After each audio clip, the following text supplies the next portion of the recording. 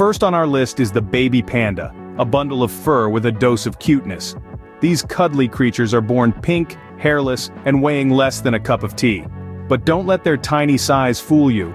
In a matter of weeks they transform into chubby, roly-poly balls of fur, their distinctive black and white coat coming into full view. Baby pandas are the epitome of innocence and playfulness. Their day is filled with a series of naps, meals, and tumbling around their mother in an endearing clumsy dance. Their black patches around the eyes, over the ears, and across their round bodies are not just adorable but serve a purpose too. Scientists believe these markings may help pandas recognize each other or offer camouflage in their natural habitat. But what truly sets pandas apart is their diet.